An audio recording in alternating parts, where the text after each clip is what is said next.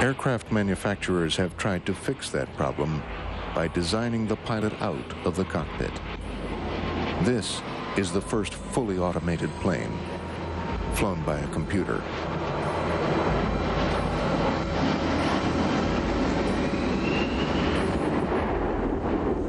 Oh, oh no, oh no, oh no, oh no.